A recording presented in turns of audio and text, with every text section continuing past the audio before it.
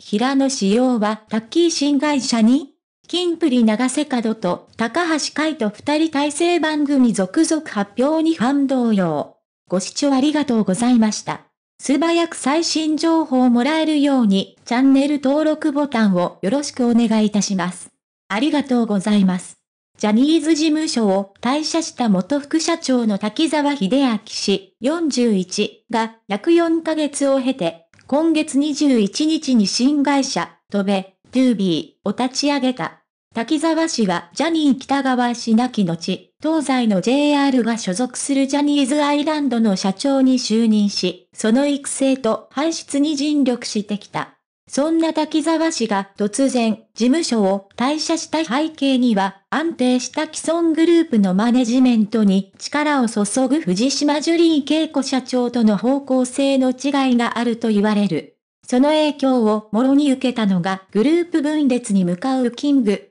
Prince。5人組のうちメンバー3人が今年5月22日で脱退する。その後は残留する永瀬廉24、と高橋海人23の二人組体制での活動継続が公表されているが、番組改編期と相まって4月からの二人組体制での仕事が次々と発表され、ファンの間に動揺が広がっている。一方で、滝沢氏の新会社移籍タレントとして、V6 の三宅健43、山下智久37、ライアメジャニの名前が囁かれる中、キンプリを脱退する平野仕様26の名前も一部で上がり、改めてジュリー派とタッキー派という当時の社内派閥がクローズアップされている。四角長瀬は脱退のタイミングを逸した残留組の永瀬と高橋の二人で、グループ初の冠番組、 King &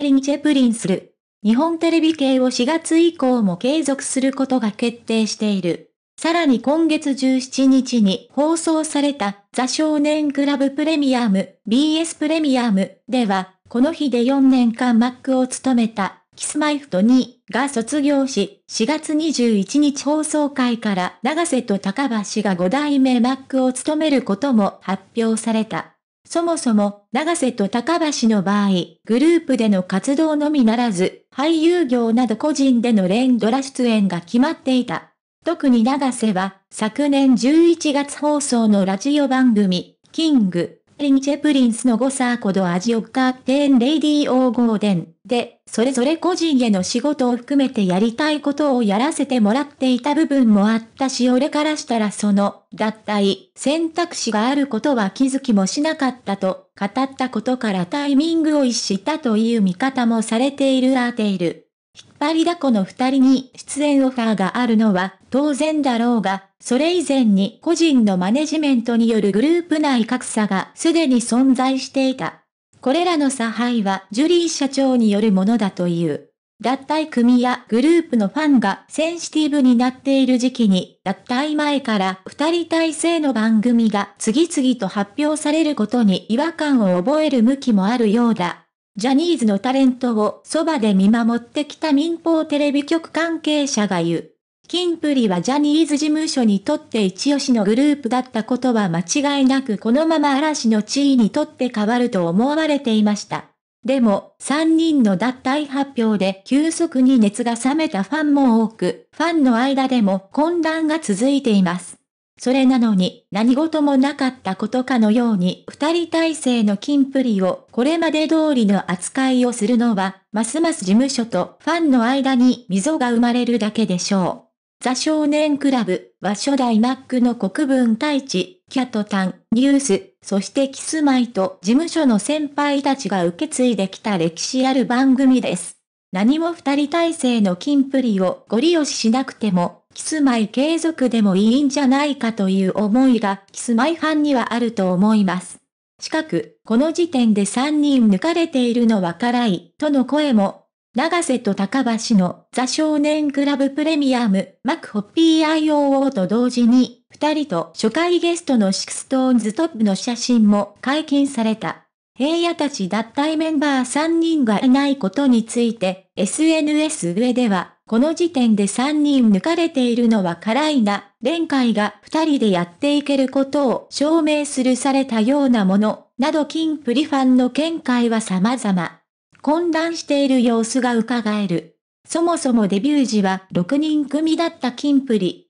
結成前に受けたインタビューではメンバー全員が世界に通用するアーティストを目標としていただけに、結成から8年での分裂に悲しむ声は大きい。最近では21年3月に一足先に脱退した元メンバーの岩橋玄樹26が米国のエージェント360との契約したことを発表したばかり。6人の目標は一つだったはずだが、これがグループ内格差がもたらした結果だとすれば、応援していたファンの気持ちはますます複雑だろう。そんな混乱の中で、タッキーの新会社設立は平野ファンのみならずキンプリファンにとっても希望の光であることは間違いない。滝沢氏がすぐに具体的な行動に出るとは考えにくいが、平野の今後を含めファンはハラハラしながら、その動向を注視している。平野志陽さんプロフィール1997年1月29日生まれ、愛知県出身。圧倒的なセンスのダンススキルや歌声を持つ一方、チャーミングな発言とのギャップで多くのファンを魅了する。ご視聴ありがとうございました。これからも一緒に応援していきましょうね。チャンネル登録をよろしくお願いいたします。